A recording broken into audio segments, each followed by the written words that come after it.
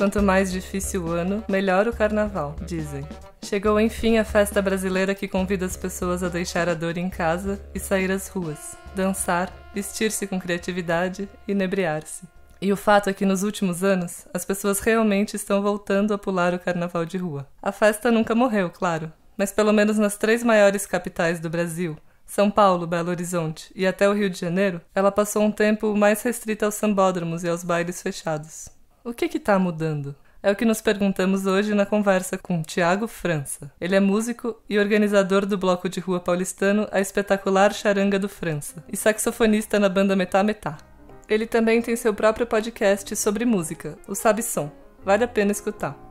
Hoje é 19 de fevereiro, eu sou Gabriela Leite e esse é o Tibungo, o podcast de outras palavras que dá um rápido mergulho em um assunto importante da semana.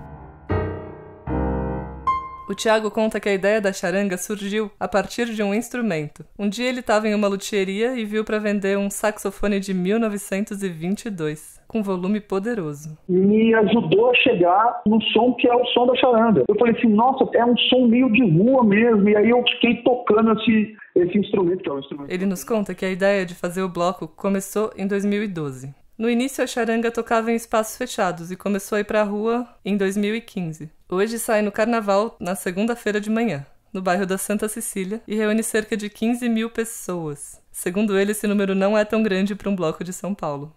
Antes da conversa, eu vou dar uma pequena contextualização sobre o carnaval paulistano, para quem não é daqui. Num passado recente, São Paulo quase fez jus à alcunha de túmulo do samba, dada por Vinícius de Moraes. Mas não foi sempre assim. No começo do século XX, o carnaval era uma festa popular e algumas das principais escolas de samba que existem até hoje desfilavam em cordões pelas ruas, em bairros como a Barra Funda, o Bexiga e a Baixada do Glicério. Vale a pena pesquisar alguns dos nomes dos pais e mães do carnaval paulistano: Dionísio Barbosa, Pato Nágua, Tia Sinhá, Inocêncio Mulata, Geraldo Filme, Nenê, Madrinha Eunice. Dizem até que o samba de São Paulo nasceu em Pirapora do Bom Jesus, uma cidade próxima. Mas isso é assunto para outro podcast. O fato é que, com a inauguração do Sambódromo do Anhembi, em 1991, o carnaval praticamente deixou as ruas de São Paulo. A cidade ficava vazia durante o feriado. Quem podia ia viajar. Parecia mesmo um túmulo. Estima-se que no ano de 2000 só 12 blocos saíram às ruas. Mas, com o passar dos anos, esse movimento foi crescendo, mesmo sem incentivo da prefeitura que inclusive chegou a reprimir os blocos, com polícia dispersando foliões e até confiscando os instrumentos dos músicos. A partir do, da gestão Haddad, você tem uma mudança que é a prefeitura dizer, então o carnaval existe, a prefeitura vai arcar com os custos da infraestrutura, que é banheiro químico, CT, PM, limpeza, é, tudo mais. Foi com um decreto em 2014 do Fernando Haddad, prefeito na época, que a festa na rua foi regularizada. A partir de então, os blocos se estabeleceram como manifestações voluntárias, sem fins lucrativos e não hierarquizadas. Ficou proibido utilizar meios de segregação do espaço ou cobrar pela participação, garantindo assim o caráter democrático da festa. Desde lá, o evento cresceu tanto que em 2020, o site de viagens Decolar registrou que havia mais procura por passagens e hospedagens em São Paulo do que no Rio de Janeiro. Esse ano saíram às ruas quase 800 blocos. Como comparação, em 2014 eram apenas 162. A Prefeitura de São Paulo estima que 15 milhões de foliões sairão às ruas. Mas quanto a esses números, temos que ter cuidado. O carnaval de metrópoles como São Paulo e Rio de Janeiro envolve milhões de foliões e turistas e um lucrativo mercado. É interessante interessante que o carnaval de sua cidade seja o maior e o melhor, e por vezes eles podem inflar os dados. Mas chega dos números. Vamos agora à entrevista com Tiago França. Tiago, vamos começar falando do bloco. Conta um pouquinho a história do Charanga do França. O Charanga começou, começou mesmo de verdade. O primeiro passo foi no final de 2012, quando eu quis fazer uma banda, montar uma banda que fosse uma banda de pré-carnaval para tocar, para fazer baile de pré-carnaval. Na época, eu tocava em outros blocos e tal, e ainda tinha aqui em São Paulo muito baile durante o carnaval, né? São Paulo, acho que tem esse problema, assim, né? Tudo movido a muita novidade, assim, e as coisas vão mudando muito rápido e você vai enterrando o que estava atrás, né? Tinha todo um movimento de de baile, de salão e tal, que com a retomada do carnaval de rua ficou meio de lado. Mas aí a ideia é que eu queria fazer esse baile de pré-carnaval, com o meu repertório, as coisas que eu achava legal tal. E aí isso foi no final de 2012. Nossa estreia foi no carnaval de 2013. E aí, logo de cara que a gente fez o primeiro baile, a primeira sequência de baile que foi lá no Centro Cultural Rio Verde, já uma galera na minha cola falou: mano, isso aqui tem que virar um bloco de carnaval, você tem que fazer um bloco, tem que levar isso aqui pra rua, não sei o quê. E aí, a partir da banda e tal, eu senti que a banda poderia ser o núcleo desse bloco, né? O, o, veio condutor dessa coisa toda. E assim, a grande influência mesmo, o grande impulsionador da vontade de ir para a rua foi todo o debate levantado durante a gestão do Fernando Haddad como prefeito aqui sobre a ocupação do espaço público, sobre a arte na rua. Então, assim, tem, um, tem uma preocupação e um olhar que ele, obviamente, ele, ele é musical, porque a gente está fazendo música, uhum. mas ele é, sobretudo, de caráter político, né? É um olhar para a cidade mesmo, né?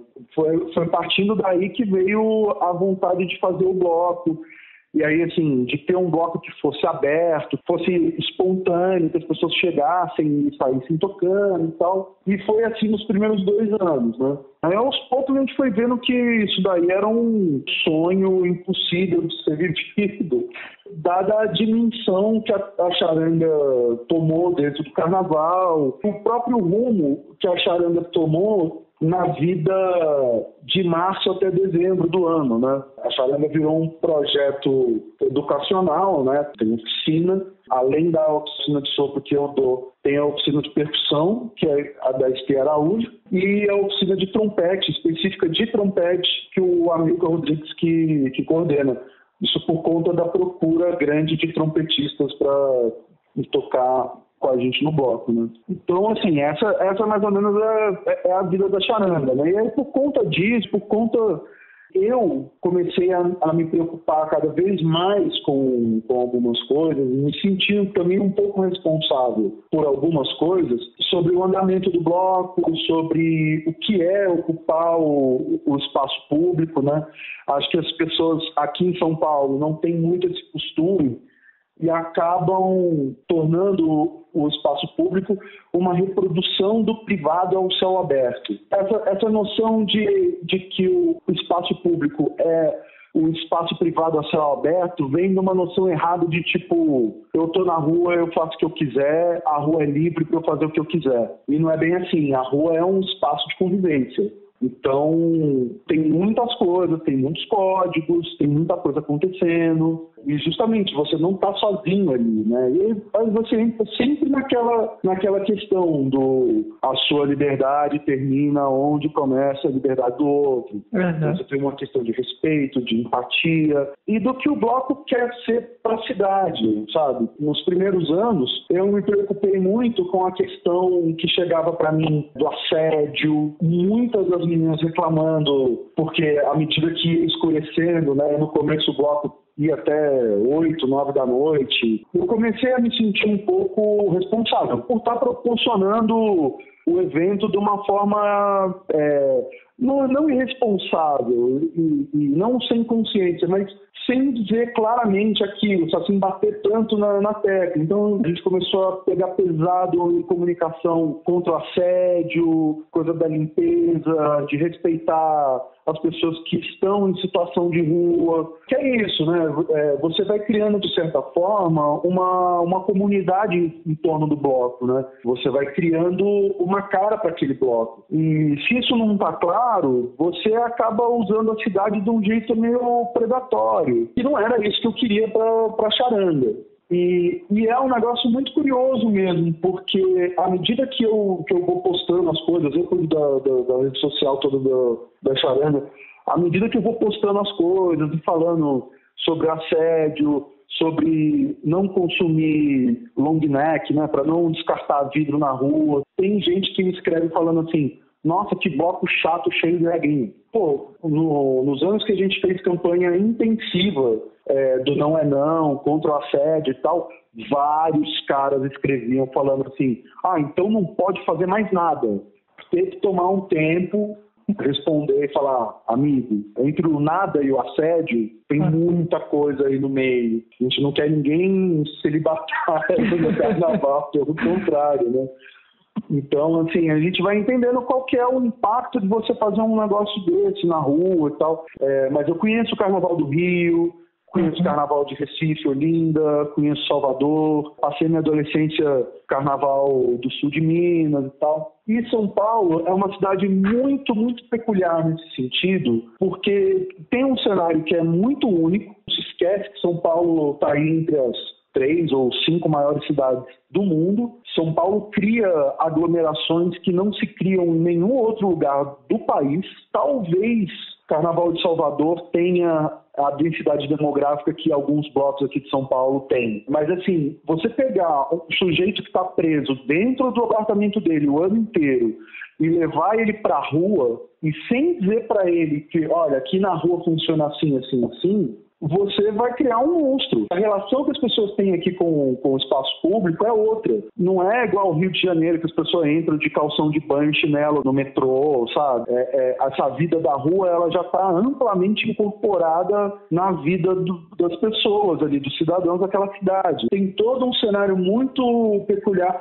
Tem uma questão urbanística aqui em São Paulo, que é uma cidade que não foi pensada para ter espaços públicos, para ter áreas de convivência, né? Não tem um calçadão. As áreas públicas, né? O que seria aqui a nossa maior área pública, que é o Anhangabaú, que está passando por uma reforma meio bizarra, está completamente abandonado. Então, São Paulo é uma cidade que, assim, é muito difícil você fazer as coisas aqui. Eu, tenho, eu converso isso com todo mundo. É uma questão super política, sim, é super importante e, assim, sem falando isso sem vaidade alguma, assim, mas olhando pelo lado de vista, pelo ponto de vista cidadão mesmo, uhum. eu acho que a gente está tá fazendo parte dessa história à medida que ela está sendo escrita, né? Acho importante a gente fazer, não desanimar, tem muitos percalços, por exemplo, hoje em dia eu vou, eu frequento reunião de condomínio da rua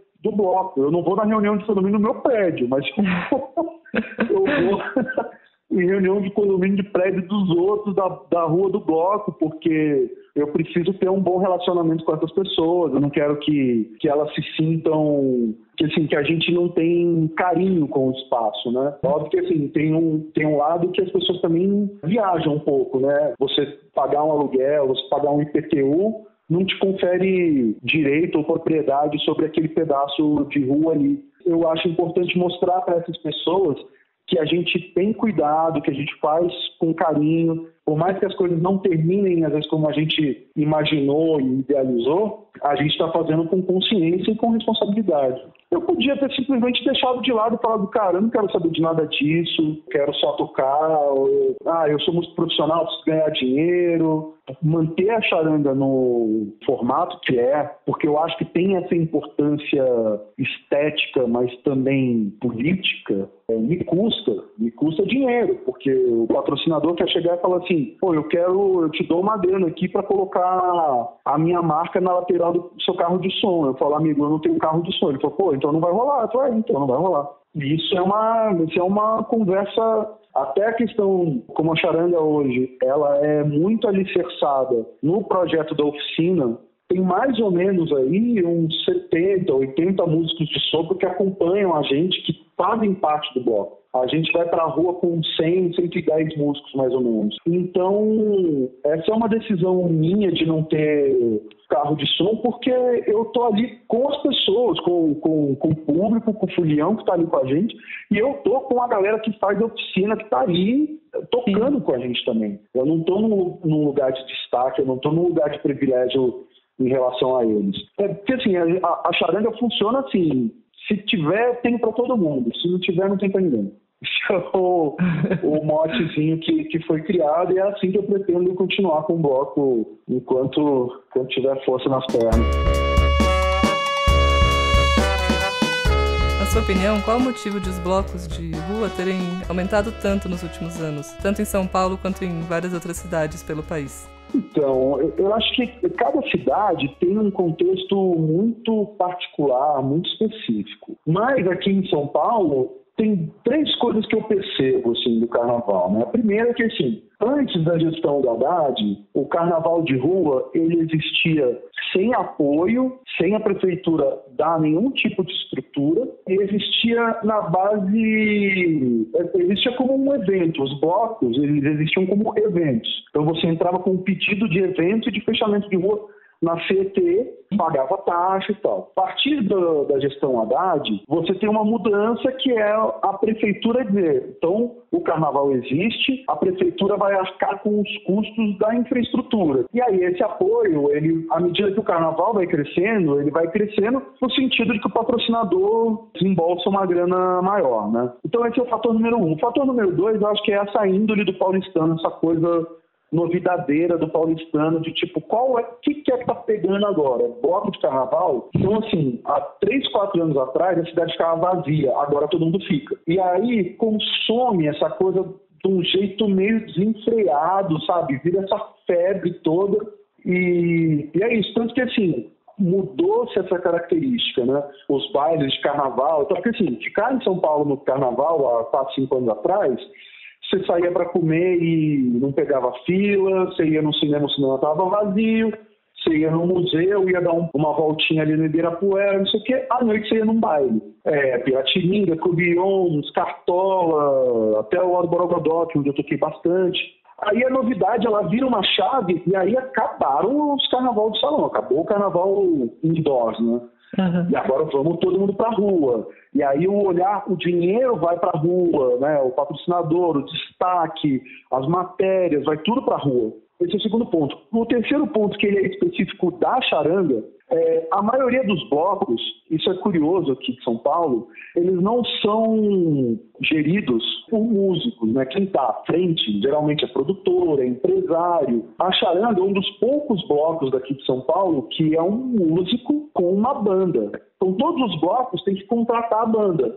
A charanga é a banda. E a charanga ela existe ao longo do ano. Então, como a charanga existe ao longo do ano, é, um, é dos poucos blocos que tem um trabalho autoral. A charanga tem seis discos gravados já. Tudo isso é notícia, né? E aí tem a figura reconhecível do bloco que sou eu, né? Que, enfim, né? Afinal de contas, é a charanga do França, né? Então as pessoas sabem com quem falar, a, coisa vai, vai é, é, mais fácil entender quem é quem é a figura central, central do bloco, porque eu sou compositor, eu arre, arregimentei, eu escrevo todos os arranjos, acaba ganhando um destaque natural, né? Por conta de tudo isso.